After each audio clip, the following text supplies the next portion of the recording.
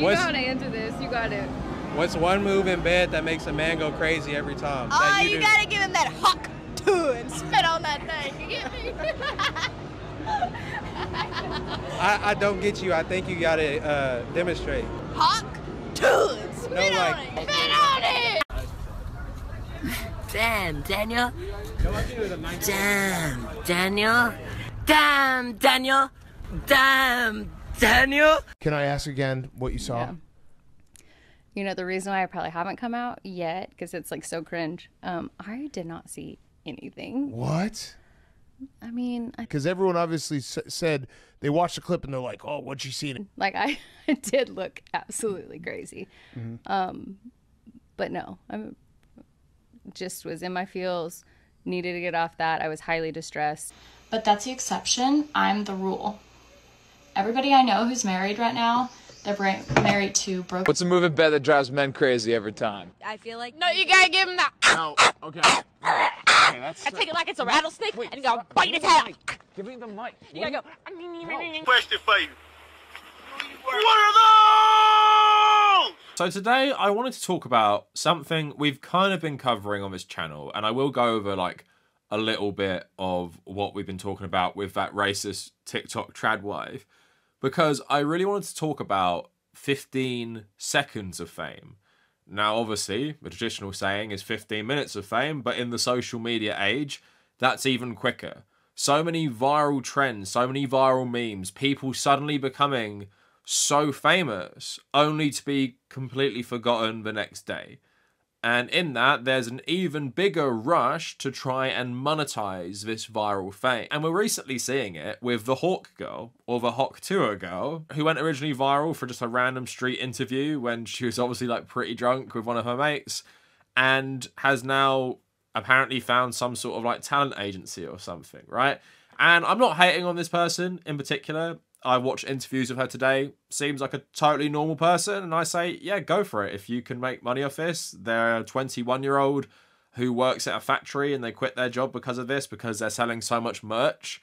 So if you can do that, fair enough. But what we're going to look at today is that most people in this position, it doesn't last long. The monetization of this doesn't last long either. And that's why everyone is so quick to jump on it as like, I want to be an influencer because of my 15 seconds of fame. And today I wanted to look at like more recent examples and just how like dystopian it is in some ways. Because with Hawk Girl, she basically said, I don't want to be known as this. But that's all you're going to be known for forever. And that might be a good thing for some people because you would have never got noticed in any other capacity and maybe you can make a lot of money from it, even if it's during a short period.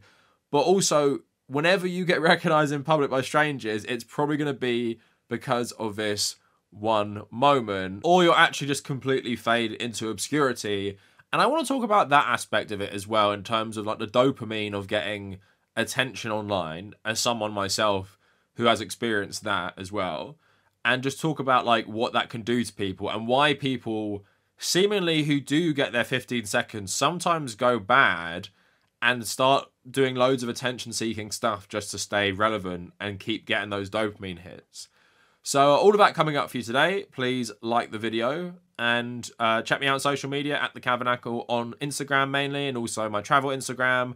Uh, check me out on other social medias like Threads and Blue Sky. And also, if you want to support my work, check out the Patreon page where you can get access to videos like this one early and can watch it on Patreon ad free. And this is also the way to get access to the Discord server. So with all of that out the way, let's get into the video.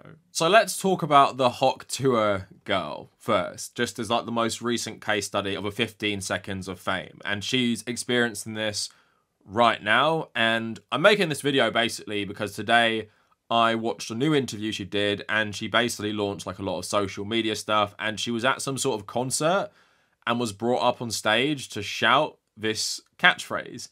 And I swear there's been like a million like Disney Channel kids shows which have the plot line of someone getting famous for doing one thing and then people just like not caring anymore by the end of the episode. Like I swear that's a very tried and true uh, like plot device in a lot of kids shows back when I was younger. And it's still relevant today. Like they bring her up on stage to say this one thing because that is what she's famous for. If you don't know what I'm talking about, basically like a YouTube, TikTok, Instagram page was doing interviews of people on the street who'd been drinking clearly about like their sex lives and stuff. This one girl who is barely paying attention for most of the interview, which is interesting to me in terms of how much this has changed her life. Uh, the interviewer is mainly talking to her friend and then asked about like what is one thing in bed or like some sort of move you'll do in bed that drives men crazy or whatever and she basically outlined it in kind of funny graphic detail and it went viral after that You, I think you gotta uh, demonstrate. Hawk Tuah it. Spit No, on like- it. Spit on it. if I see you All right, before any more? guys are gonna cry. Oh yeah. Okay, I got another one for y'all. Okay. Would you rather? Hold on, is she listening? Would you rather? and i guess i understand why it went viral i guess it's kind of funny like people like the accent as well and yeah it's just like a funny meme i get that i get funny memes but i guess what happens is there's always a person behind the meme for the most part and quickly people found out who this person was and yeah, fair enough. They monetized it as well. And this was the news recently, which is just funny to me. Hulk to a girl Haley Welch finds representation. Like it's just su- such an expected thing, right? You're gonna find like media representation if you're in like one viral video. So she signed for representation with management firm Penthouse. The world's gone crazy for Haley. I'm glad our team can help guide this rocket ship.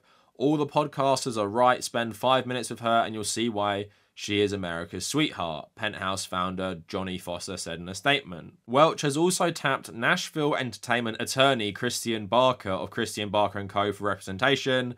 Haley has risen to fame with her cheeky humour, but after getting to know her on a greater level, I think her small town grassroots story and how a chance encounter on Broadway took her on this unexpected path to stardom that will resonate with millions. We are proud to represent her on this journey, Barker said in his own statement. And also an article by Rolling Stone Hawk Tuah Girl has sold $65,000 of worth of merch. So this a couple weeks ago. So Jason Poteet uh, is serving as the brand manager, who's a Marshall County native who has known Welch for years telling Rolling Stone that a day or two after the viral video started going viral, he reached out to a stunned Welch to figure out a way to monetize her brand. Of course, she hasn't got a dime out of the first viral video that went out. Nobody was asking permission for her to do nothing, neither. I just wanted her to get some profit off his deal and himself as well. Uh, he declined to share exactly what percentage of the proceeds he gets. Welch is receiving, but says he suggested she trademark the phrase and she's been in touch with a lawyer about it. Just talking about he sells hats like Hawk Tuah 24 and getting like a lot of orders at the moment. And I think she said in like an interview as well, I think they either split it 50 50 or something close to that. And, you know, like, fair enough. I honestly have no problem with that at all. I do obviously, you know, as someone who's anti capitalist, I do find it funny, like, there's so many vultures out there who are just waiting on the next viral thing, thinking, how can I monetize this woman for my own gain, right? Because, like, none of these people really have her best interest at heart. They're just saying, how can I make money off this trend? So we're going to get her like a management company, a lawyer. She's going to go on loads and loads of podcasts. And honestly, you know, I wish her well. I wish her well. I hope she makes a successful social media career and she uses this to, you know, get a better life essentially, right? Because she seems like she's someone from, you know, a humble background. I think she said in one of the interviews as well, uh, she dropped out of college as well. So, yeah, I'm all for people improving themselves. And with social media content creation, a lot of the time there's not much labor exploitation that gets involved. You know, if I became um, a million sub YouTube channel, that's just me doing it on my own, right? I don't find it that controversial. But there is something she said in an interview, and I want to play this for you.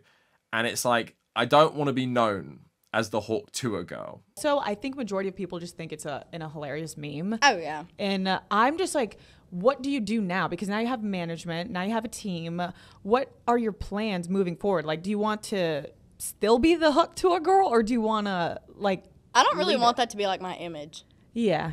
Like, Hawk Tuah girl. I just I don't see that being like A my forever thing, You know? Yeah, I don't want to be known as that. Yeah. I mean, it's funny, and you're also only 21, so you kind of said something silly. And I think half of the internet also is on your side with that, where Oh, it's yeah. like you're out drinking after a night with Oh, your yeah. friends. You get asked, what is something crazy you do in bed? Oh yeah. It was funny. I was being a little bit of a smartass too. 'cause, Yeah. Like, you're gonna come up to me with a microphone and ask me something like that. Oh, well, I'm gonna hawk tuah it and spit on it. You know. I don't mean nothing by it. Yeah, you were like actually being serious. Oh, yeah. You were just And I'm going to link that interview and I probably put the name of it for you. So go check that out. Just like a longer interview, they're talking about like how it happened and what happened and how it went crazy. And this person just seems like a normal person, which I think is why people might like her. I don't know what's going to happen to this person, but I do find it sad But yet genuinely, she probably doesn't want to be known as the Hawk Tuah girl. Like, she is riding that trend at the moment, but at the end of the day, if it doesn't work out and the money dries up, you still want people to see you in the street and say, "Oh yeah, you're the Hawk Tuah girl." Matthew Perry said something interesting. Like obviously when he died, I was reading a lot about him. He said he hated being famous basically because people wouldn't see him as Matthew Perry. They'd see him as Chandler from Friends. So they'd always just want him to say stuff from Friends. And he said about how dehumanizing that is. But obviously, Matthew Perry was a good actor performed like this role as a beloved character. There's some talent that goes into that. But it's even worse when you're someone who's only famous for saying one thing. And you can potentially become trapped by that for the rest of your life because everyone will always know you for that one thing. And it's just the nature of fame in many ways. You know, I like the killers. If Brandon Flowers passes away, Mr. Brightside is going to be in the first paragraph of his obituary, right? The same with Matthew Perry. He's always just going to be known as Chandler from Friends. It happens to plenty of actors. Like Tom Holland will only be remembered for Spider Man primarily. Same with Tobey Maguire. Some people do effectively cast off their image, like Daniel Radcliffe, in my head, I don't really think is just Harry Potter. I think of him as like a general actor now. But he's the rare exception of someone who's escaped his past being tied to one thing or in one performance. And that is just like the disturbing nature of it. And obviously, what I want to touch on as well with her specifically, Hawk Tuah, you get so much fame so quickly, unimaginable attention, and it obviously feels good because you feel like you've achieved something. Like, surely I've done something right in this meritocracy to be recognized. And what I feel like happens, and I feel bad for people, is you get that dopamine rush of attention, and then quickly your 15 seconds is up and it, it's gone forever. And you'll never be successful again in the same way, probably. I know probably a lot of people in her own life are probably jealous of her right now. I'm definitely not jealous of people like this. Even if she makes, like, let's say, $10 million off being the Hawk Tuah girl, who would really want that? Would you want that watching this right now? And I say that as someone who has experienced, you know, through this Z tier YouTube channel, you know, you experience like similar things or you experience the good parts of like relative online fame, like people messaging you nice things. Uh, I've been recognized three times in public by just like random people saying nice things about me to my face. And one was in Vietnam on a street corner, one was up London, and one was actually near where I live. And it was just like pretty wild. I'm like, oh, this is this is quite cool. Um, and also, I said to my girlfriend, but if one day, if you just snap your fingers and my whole online presence went, I think it would be quite hard to deal with. The lack of engagement I would get and the lack of people caring about what I say anymore, I think that would be hard to deal with at the moment while I still enjoy it, right? I'm not someone who who hates this attention. I like it because I always thought I had good opinions and I wanted to put it out there for people to listen to. Um, and I think it must be really hard for these viral sensations to have that on like a much larger scale. With YouTubers, you normally have a more long, drawn out cycle of your rise, your like, I guess, steady period and your decline. With these people, it's like go to the top of the mountain and then come right back down in two seconds. Now, before we get into people with 15 seconds of fame, uh, and we talk about one who's fading right now, the racist TikTok trad wife, and then I want to talk about, if you guys remember this, Damn Daniel, back from I think 2016. I want to talk about one example I can think of. There's not too many others, and maybe you can think of one in the comments, but Danielle Bregoli is probably the only example I can think of of someone who had 15 seconds of fame and made it into a really successful career. But I would say she is the outlier because she was so controversial from the outset. It was just wild.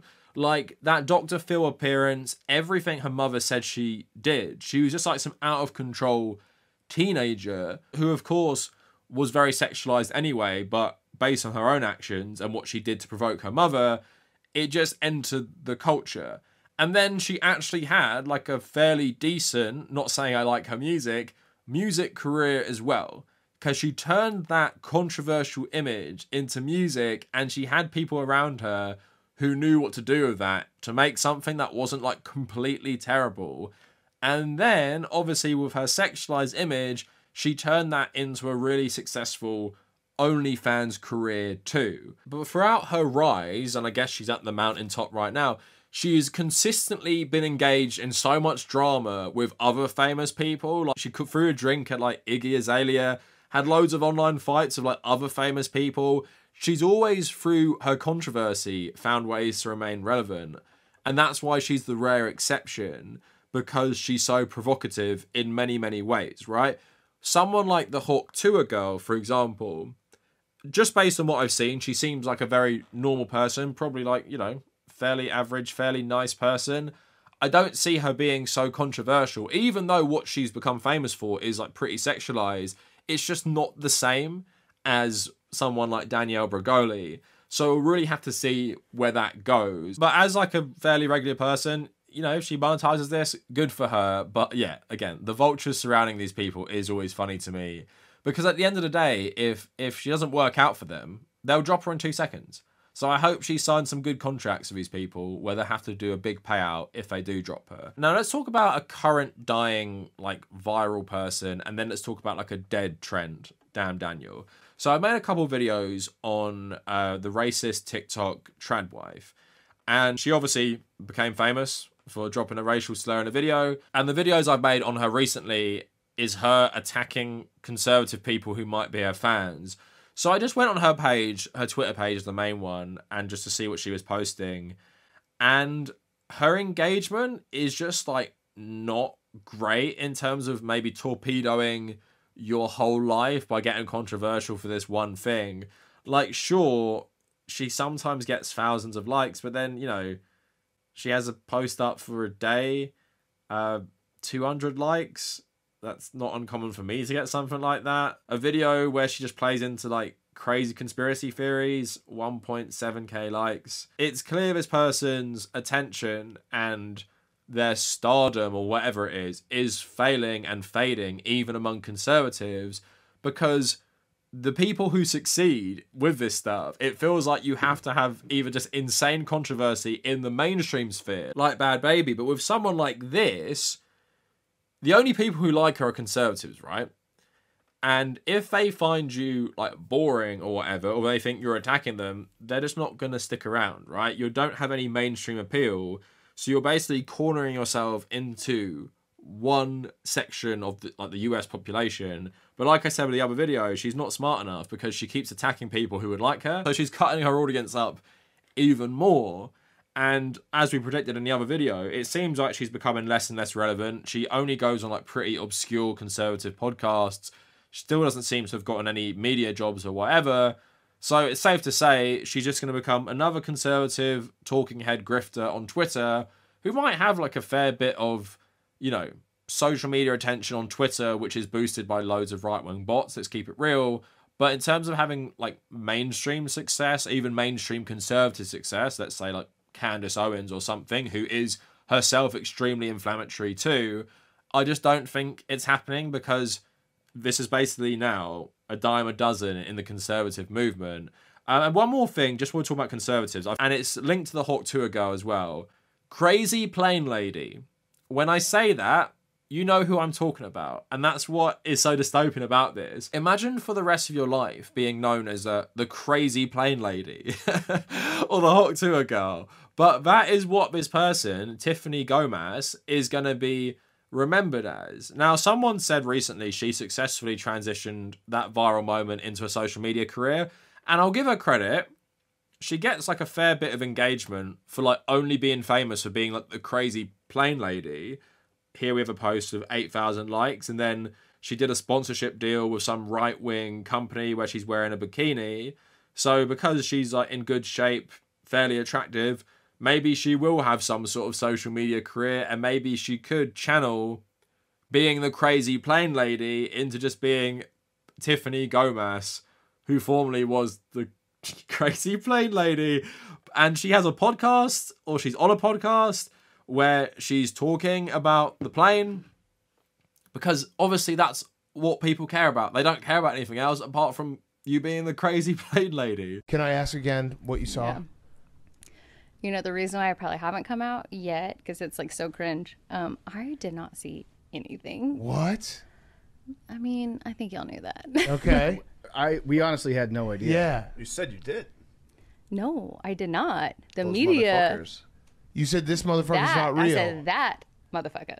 Is not real. These or Okay. So the only path I can see for people like the Hawk Tuah girl and Crazy Plane Lady, especially because you know they're conventionally attractive, is they just have to become reality stars. Like they have to go on Love Is Blind or The Traitors or something like that to stay relevant. Because as we all know, a lot of reality TV stars are basically only one step removed from someone who went viral for like a crazy moment, right? Because a lot of these people purposely play a character to go viral but just in the confines of like the Big Brother house and stuff like that. So it's very, very similar, and it feels like the only way you can sustain this fame is just become some sort of influencer who might appear on like reality TV. But the 15 seconds of fame again, would you want this? Would you want 8,000 likes and 100k Instagram followers for forever being known as crazy plane lady? I don't think most people would want that. And as someone who doesn't really give a shit about money, short-term monetization of a crazy moment I had or a funny moment I have would not be worth the long term damage. Also, I do not want to be known for one moment in my life. Obviously, my audience is small, but I'm happy if I died tomorrow, people would remember me for like the YouTube channel and they'd remember me for like everything I've said, right? No one's to remember the Kavernacle as, I don't know, crazy plane boy like first and foremost that's not going to be there. Maybe mr beast's number one hater will be up there but honestly i don't mind being remembered like that. Like that's a title i'll happily have. You're the only person who thinks elden ring is a 7 out of 10 i don't mind being remembered as that but yeah i wouldn't want to be remembered for maybe one embarrassing moment when I'd been freaking out on a plane or I'd been drunk and given like a random interview on a street. And I'm sure that probably is a Black Mirror episode about it, but we all know how that can just be really terrible for people. Like it can literally ruin your life. Like this could ruin Hawk Tuah Girl's life. We don't know how this person feels, and in the future, 20 years from now, she could say how she regrets ever becoming famous for this. We just don't know. And it also is with a lot of fame, like Matthew Perry was saying, it's just very, very dehumanizing. No matter what you think of the actual person, it's just being known for one thing. You either play into that because that's what people like you for, or you don't and you become irrelevant and people become addicted to fame. So what often happens, especially in like reality TV circles, is you play into it and you become known for like a certain thing. But this 15 seconds of fame is very fleeting. And we all know there are just so many people who became famous for X and Y and now they're just nothing. And I think for me, one I remember the most was Damn Daniel. Now, Damn Daniel, I think, was a Vine. It was just a video someone recorded, someone's friend. He just kept saying Damn Daniel about his like shoes. Damn, Daniel. Damn, Daniel. Damn, Daniel. Damn, Daniel. Back at it again with the white van. Damn, Daniel. Damn, Daniel. Damn, Daniel. Damn, Daniel. Damn, Daniel. Back at it again with the white vans. Thirsty, man. Damn, Daniel. and it blew up massively. People saying it was just the funniest thing ever. It became like obviously into the internet culture. People just writing "Damn Daniel." I bet loads of people would annoy their friends called Daniel at school saying this. Thankfully, I was you know at university when this happened, so didn't really catch on um, at university. Now, obviously, if you ask the question, where are the damn Daniel guys now? And yeah, they're they're nowhere. They're just regular people now because they had their 15 seconds. They went on Ellen. Everyone spoke about them. And yeah, hopefully they made a bit of money. And if you go on their Twitter page with Damn Daniel Guys, um, it's dead. It's been dead since 2017. You can find the original videos there. And if you go on one of the Damn Daniel guys, the guy who said it, Josh, you can find his posts. But uh, thankfully, he, he turned out pretty all right, to be honest, because he's got the same politics as me in many ways. He's tweeting loads of pro Palestine stuff. He's retweeting actually like loads of left wing YouTubers I know, uh, loads of anti Israeli stuff. So that's good. And it seems Josh now, the guy who said the infamous Damn Daniel, he just is a, you know, photographer. So he just posts about his photography. Last year he did tweet about it. He said seven years damn. Uh, and that got like 258,000 likes. But yeah, it seems by and large he's just, you know, posting his photography.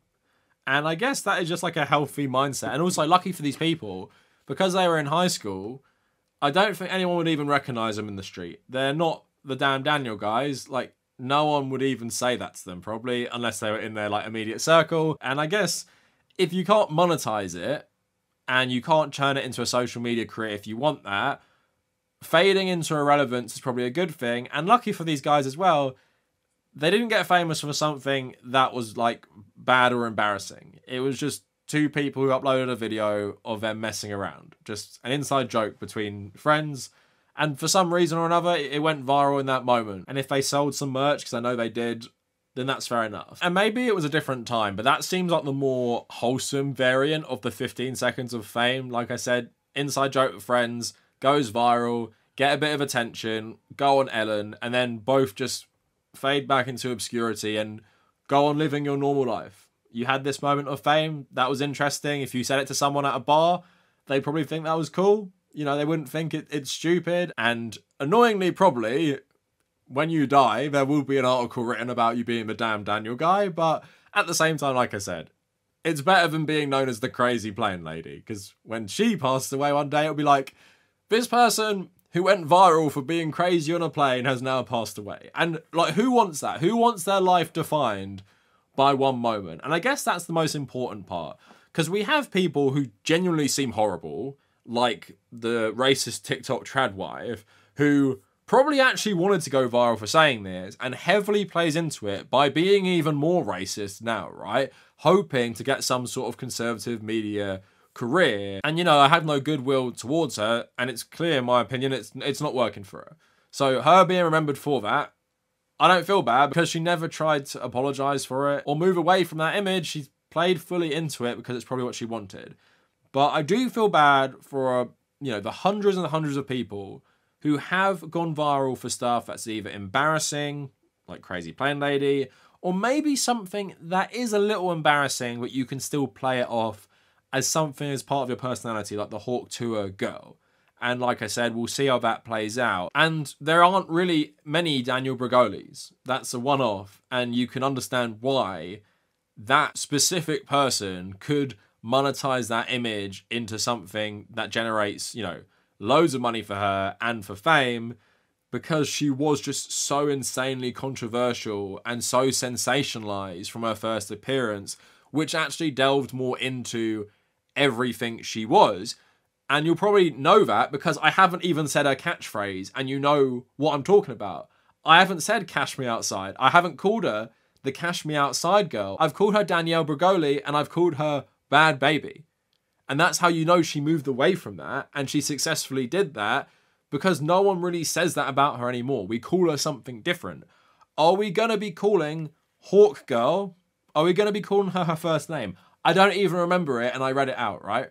So I hope for her sake, one day we do call her her first name and her full name and we talk about her as an actual person.